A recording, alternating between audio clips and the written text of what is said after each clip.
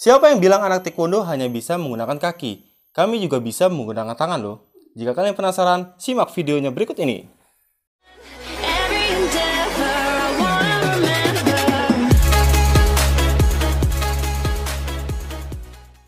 Assalamualaikum warahmatullahi wabarakatuh. Cereat Kyongre.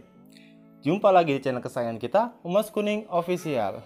Kali ini saya akan membahas tentang eh, polema-polema anak-anak yang lain, bela diri lain, atau misalkan eh, banyak yang bertanya kepada saya bahwa anak taekwondo hanya bisa menggunakan tangan. Sebenarnya ya pada dasarnya taekwondo juga mengajarkan ten- tentang uh, pukulan ya dengan tangan tetapi hanya kemungkinan 3 sampai 40% karena kita kebanyakan men- menendang ya dengan kaki seperti itu. Terus ada lagi yang bertanya nih uh, di kejuaraan atau kyurugi atau kejuaraan taekwondo ya fighting itu apakah ada yang menggunakan tangan? Jawabannya ada ya. Nah, di video kita kali ini kita akan membahas tentang tendangan uh, tinjuan tersebut. Oke, tinjuan taekwondo yang saya bahas ini adalah tinjuan taekwondo pada saat kita melakukan uh, fighting atau bertanding ya seperti itu. Untuk uh, langkah-langkahnya untuk taekwondoin yang akan meng- mengeluarkan tinjuan pada saat bertanding itu hanya boleh menggunakan sasaran momtong atau ulu hati. Jadi tidak boleh kepala, tidak boleh juga di bawah. Hanya ulu hati dan itu pun hanya satu kali. Maksudnya satu kali, satu kali pukul. Nanti pada saat momen momen ada momen lagi, boleh melakukan lagi. Jadi tidak boleh dobyon atau dua kali. Itu yang pertama.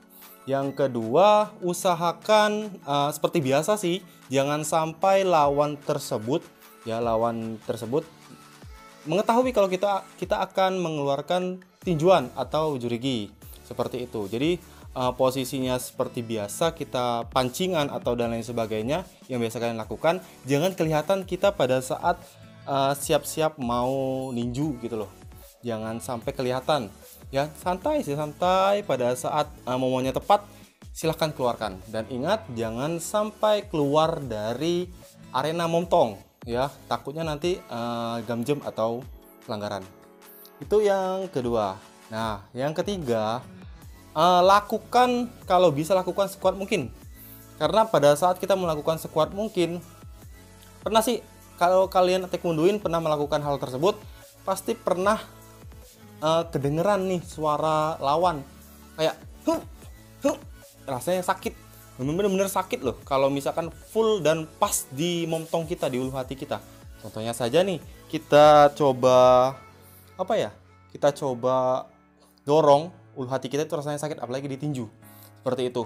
Ini sebenarnya sasaran yang bagus dan poin untuk sasaran ini untuk jurigi uh, poinnya satu tergantung dengan kondisi. Biasanya sih satu untuk umumnya itu yang ketiga. Dan yang keempat eh, tinjuan ini juga sama dengan tendangan-tendangan yang lain. Tinjuan bisa dikombinasikan dengan tendangan. Misal contoh eh, melakukan step tinjuan lalu menggunakan eh, tendangan lain seperti dolio, dolke, nopicagi dan lain sebagainya. Itu bisa dilakukan. Terus yang terakhir eh, nih misalkan eh, Oreon tangan kanan ya sedang meninju. Nah, biasakan tangan kirinya itu siap untuk menangkis kaki.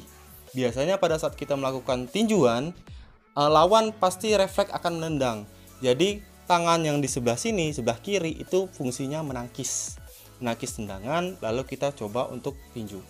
Seperti itu, ya.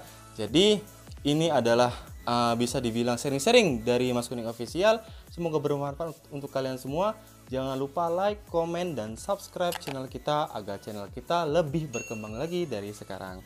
Saya akhiri. Wassalamualaikum warahmatullahi wabarakatuh. Cereat, kyore. Kamsahamnida.